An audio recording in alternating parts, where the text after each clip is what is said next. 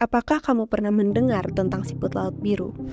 Ukurannya kecil, hanya sekitar 3-8 cm, dan hanya tinggal di perairan hangat seperti Australia, Afrika Selatan, dan Eropa.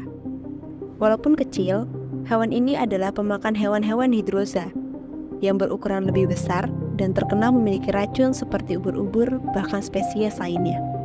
Tapi faktanya, hewan kecil ini tidak mempunyai senjata ataupun racun berbahaya tapi ia mampu menyerap racun dari hewan lain yang ia makan dan menyimpannya di dalam jari-jari sebagai senjata memangsa hewan lain.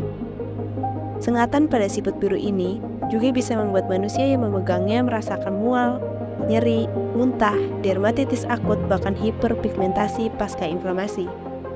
Namun yang paling menarik, hewan ini memiliki warna cantik biru terang untuk ia gunakan sebagai perlindungan diri, sehingga sulit bagi predator untuk menemukan mereka.